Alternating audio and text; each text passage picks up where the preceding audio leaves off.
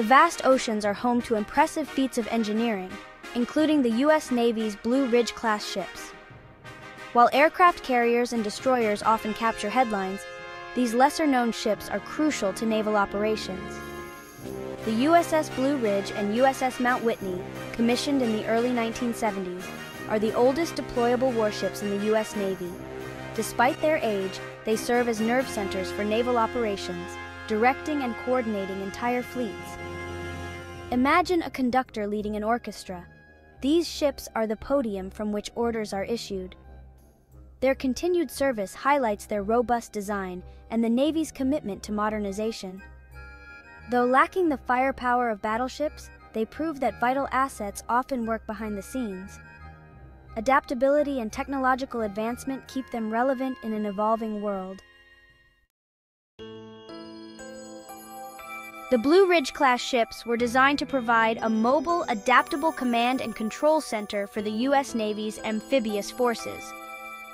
This was a response to lessons from the Vietnam War, where the lack of a dedicated command ship hampered operations. The USS Blue Ridge, commissioned in 1970, became the 7th Fleet Command ship in 1979. Her sister ship, the USS Mount Whitney, commissioned in 1971, took on the role of 2nd Fleet Command ship in 1981 before transitioning to the 6th Fleet in 2005.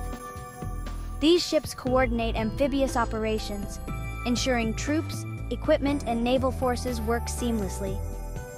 Equipped with robust communication capabilities, they have remained relevant for over five decades.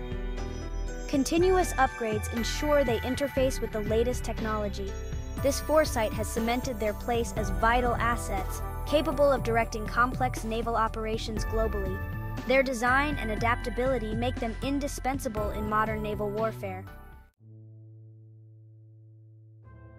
The Blue Ridge class ships entered service during the Vietnam War, highlighting the need for effective command and control.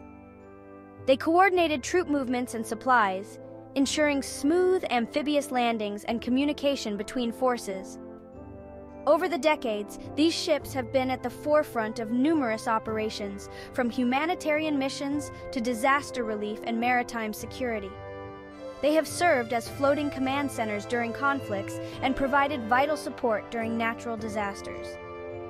Their continued presence in the fleet underscores their adaptability and enduring importance in safeguarding American interests globally. Adapting to the Future, the Modernization Program.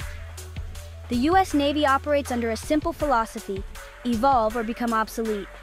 The Extended Service Life Program, ESLP, initiated in 2011, breathes new life into these Cold War era vessels.